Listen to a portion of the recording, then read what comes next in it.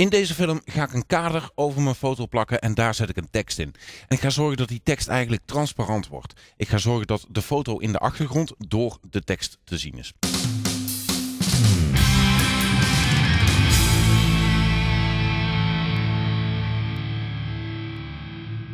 Hoe ga ik om te beginnen het kader maken? Nou, ik maak gewoon heel eenvoudig een nieuwe laag. Dat kan ook met de sneltoets Ctrl-Shift en N. En ik trek gewoon een vierkant wat ik vul met in dit geval mijn achtergrondkleur wit. Ctrl Backspace en ik heb een kader. Hierboven ga ik een tekst opzetten. En ik gebruik daarvoor de sneltoets T. Aangezien we een wit kader hebben, is het niet handig om dit ook met een witte tekst te doen. Ik kies hier voor een zwarte tekst, maar het maakt eigenlijk helemaal niet uit welke kleur je pakt. En ik zet hier gewoon een woord in. Vervolgens is het de kwestie van alles netjes uitlijnen. En met het verplaatsgereedschap kan ik eventueel het kader nog wat groter of kleiner maken. Laat ik het zo even houden. Nu is het dus zaak dat we in het witte kader zeg maar uit gaan snijden wat we daar straks hebben getypt aan letters. En dan gaan we gewoon heel simpel een selectie maken van de letters. En dat doe je door de ctrl ingedrukt te houden en bij de laag op de T van tekst te kiezen. En je ziet, er komen een paar lopende lijntjes, de marching ends, rondom de tekst. Als ik de tekst bijvoorbeeld uitzet, dan zie je dat helemaal goed. En nou is het de zaak dat ik dit uitsnijd in mijn kader. Ik kan nou heel simpel, als ik het kader heb geselecteerd, de juiste laag op delete drukken. Maar dan kan ik later eigenlijk gewoon niet meer spelen. En dat wil ik eigenlijk stiekem wel. Dus ik ga dat oplossen met een laagmasker. Ik hou de alt ingedrukt en ik klik op het laagmasker symbool. En eigenlijk is het effect dan klaar.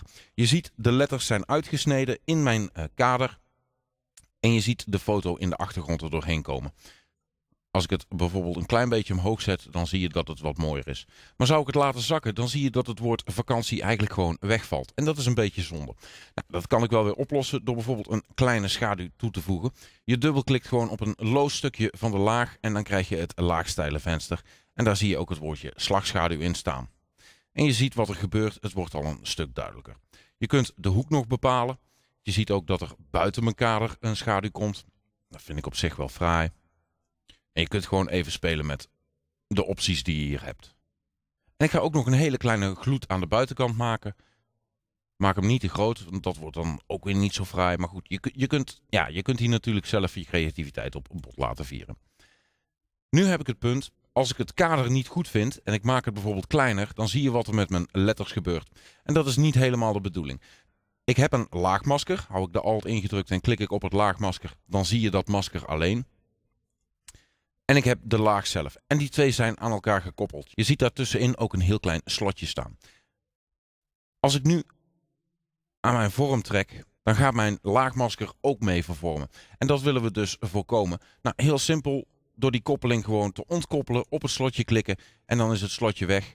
Ga ik dan nou aan mijn kader trekken, dan zie je dat mijn letters gewoon gelijk blijven. En zo kan ik eventueel nog een heel klein beetje spelen. Je kunt ook weer gewoon tussen de twee klikken om het laagmasker weer uh, te activeren. Want als het uit is en je zou je kader verplaatsen, dan blijven je letters staan. Dat is dan ook weer niet de bedoeling. Ik wil nog een klein beetje door het witte kader heen kijken. Dus ik ga uh, een klein beetje de transparantie vergroten. En dat doe ik door de vul wat naar beneden te zetten en niet de dekking. Want er is een verschil tussen dekking en vul. En dat heb ik natuurlijk al een keer uitgelegd in een filmpje. Uh, klik hierboven even om te kijken wat dat precies was. Als je daar meer over wil weten. Maar in ieder geval zet je de vul omlaag. Dan blijven de effecten op je laag nog gewoon 100% zichtbaar.